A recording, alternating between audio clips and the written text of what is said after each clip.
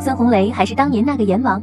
关于经验不足的萌新，现在的孙红雷，红雷哥，啊，你你想你想做什么任务，你就跟哥直接说。真的真的吗？啊，对，你就跟我直接说，你就我会配合你的。跳一段舞就行了啊跳一段舞就行。你跳一段舞是吧？你你我给你拍下来，来，你跳段舞。这就叫老奸巨猾。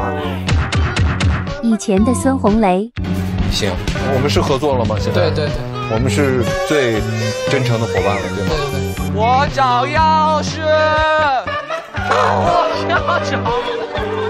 完了，这一星一星这孩子已经疯了，我脑子再坏了，我我我我，要不我先把钥匙给他吧。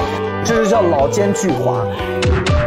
阎王的心思你别猜。现在的孙红雷，哎呀，吓死我了！你要干什么呀？要电话。您不是说拍完照就给我电话号码吗？没有？我的手机号，没事，我可以给你打过去，想跟您切磋演技上的一些东西。切磋演技用电话吗？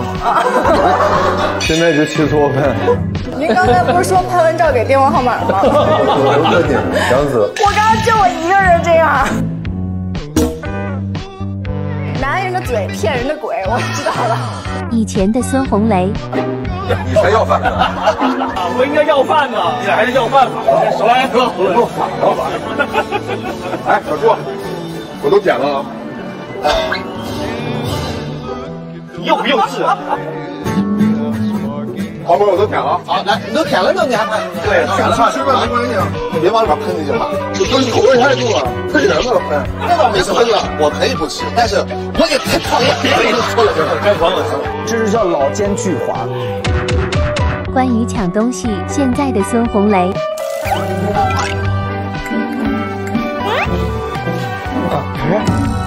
雅轩，守口如瓶。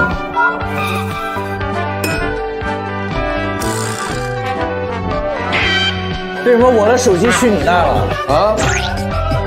不是，你现在给我手机，我看一眼。我先看一眼手机。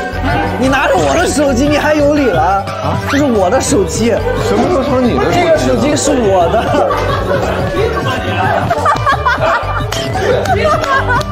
这是叫老奸巨猾。以前的孙红雷，把我相机还我来。什么箱子？什么什么那么什么箱？哎呀，这一说这个有点不太自信了。把我相挑出来。什么箱子？我们的箱子你给拿走了，那也不能靠打的呀。那你把箱子还给我们。哦，箱子走了。来，干什么呀？不要逼我！逼你啥？我们只是要一个正义，只要把箱子还给我们。没有这么滑的，也没你这么拿的呀。那你们当时没注意，你们。这就叫老奸巨猾。